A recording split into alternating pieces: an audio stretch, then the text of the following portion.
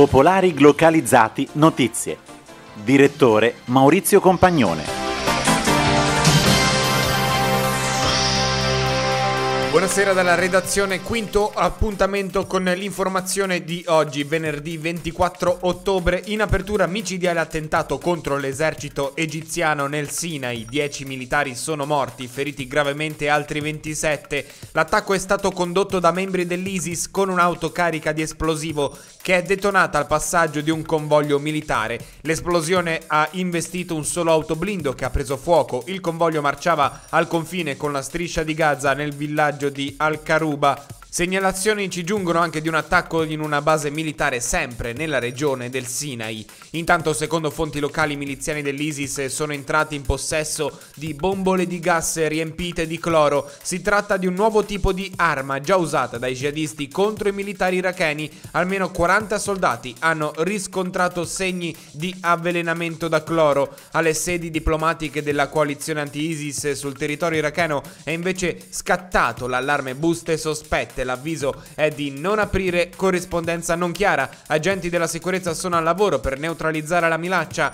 anche se uno dei pacchi sospetti ricercati è arrivato al consolato canadese di Istanbul. La busta conteneva polvere gialla, ora sotto analisi. Sembra che uno dei dipendenti dell'ufficio protocollo sia entrato in contatto con questa sostanza.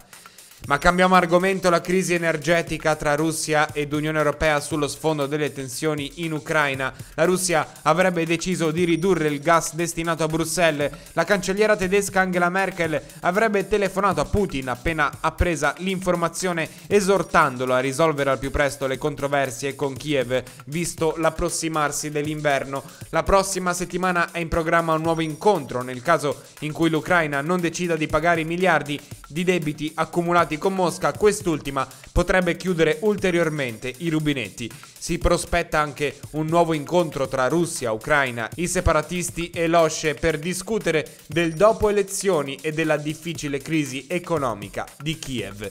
Intanto Putin da Sochi, dove si trova in occasione di un forum politico, ha accusato gli Stati Uniti di minare la stabilità globale. Gli Stati Uniti stanno destabilizzando l'ordine del mondo globale, imponendo la loro volontà. Se Washington non rispetta gli interessi dei singoli paesi, il mondo dovrà affrontare una nuova guerra. Parole pesanti, quelle del premier russo. Guerre come quelle in Iraq, Libia e Siria sono frutto della politica pasticciata di Washington che non hanno portato a nulla se non al caos. Ha poi continuato, combattono contro i risultati creati dalla loro politica, ora corrono ai ripari con sacrifici umani per eliminare i rischi che essi stessi hanno creato e di cui stanno pagando un prezzo sempre maggiore, ha detto Putin, tralasciando una costruzione diplomatica del messaggio.